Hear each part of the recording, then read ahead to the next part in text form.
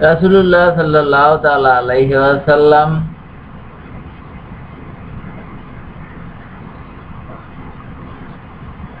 আমাদের ও আমাদের মাওয়ালিকে আজানের দায়িত্ব দেন। অর্থাৎ তাদের মিষ্টি, সুর ও উচ্চ আওয়াজের জন্য আজানের দায়িত্ব দেন।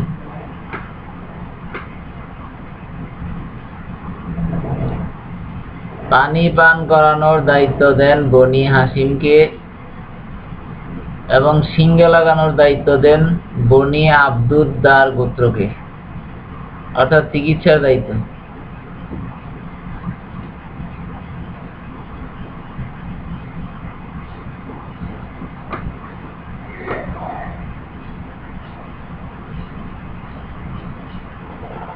আল মুসনাদে ইমাম আহমদ হাদিস নাম্বার দুইশো পাঁচ পৃষ্ঠা নাম্বার চারশো বত্রিশ।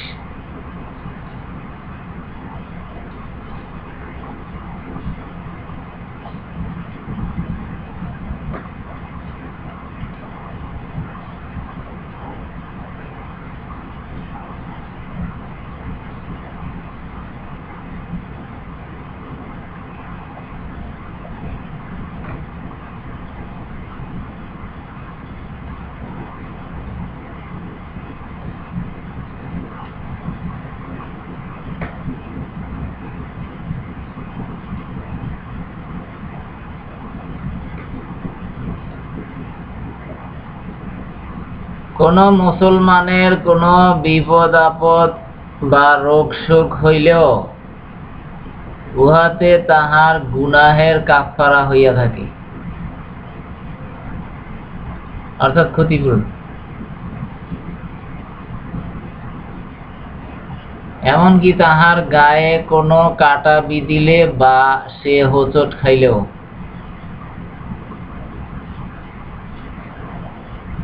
আল হাদিস আল মুফরাদ হাদিস নাম্বার পাঁচশো।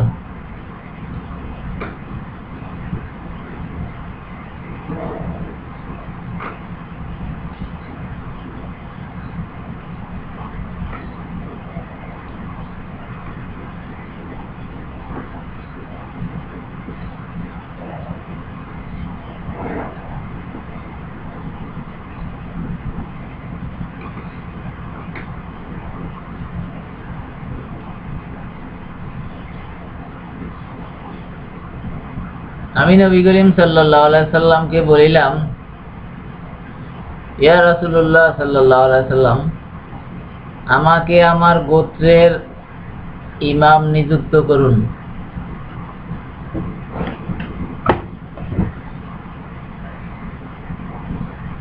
পাক সাল্লাম বলিলেন, তোমাকে তাদের ইমাম নিযুক্ত করা হইল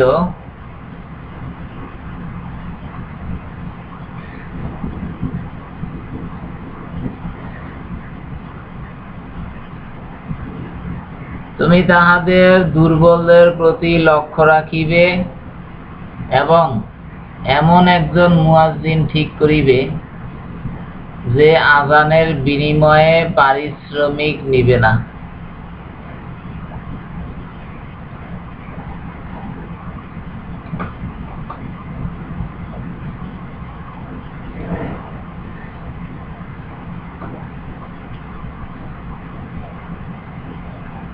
আল হাদিস মুসনাদে ইমাম আহমদ হাদিস নাম্বার দুইশো ছেষট্টি পৃষ্ঠা নাম্বার চারশো বত্রিশ।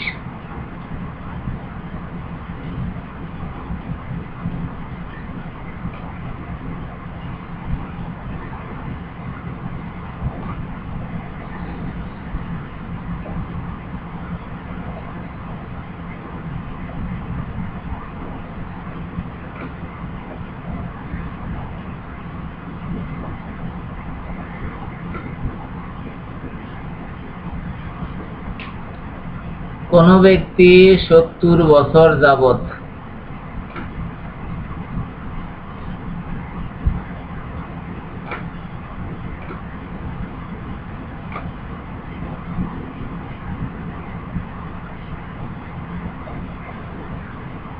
ন্যাক কাজ করে, তারপর যখন ওসিয়াত করে, তখন সে তাহার ওসিয়াতের মাধ্যমে জুলুম করে।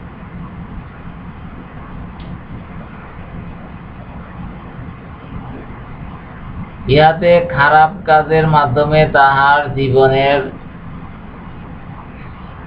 সমাপ্তি হইল।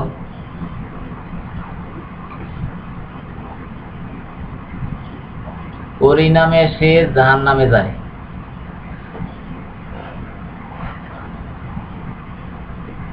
আবার কোন লোক সত্তর বছর যাবৎ খারাপ কাজ করে তারপর সে তাহার ওসিয়াতের বেলায় ইনসাফ করে।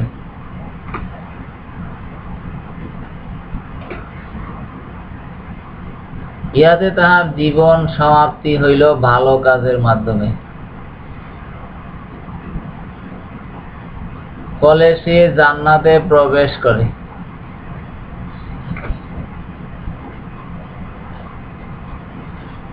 আবু রাদিয়াল্লাহু আনহু বলেন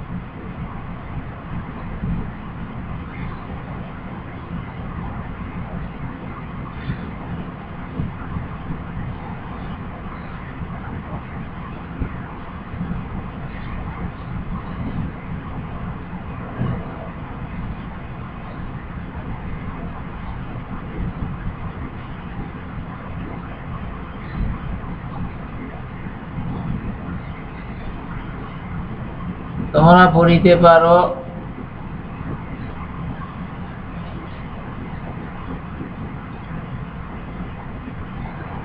সুরা নিসার তেরো হইতে চোদ্দ আয়াত।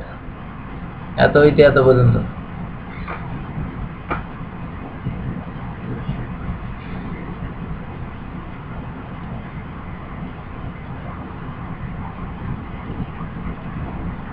আল হাদিস ইবনে মাজার শরীফ হাদিস নাম্বার দুই হাজার সাতশো চার।